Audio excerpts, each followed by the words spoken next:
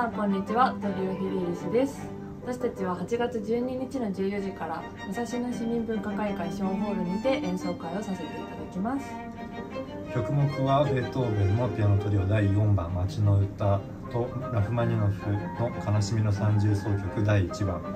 とシューベルトのピアノトリオ第2番です。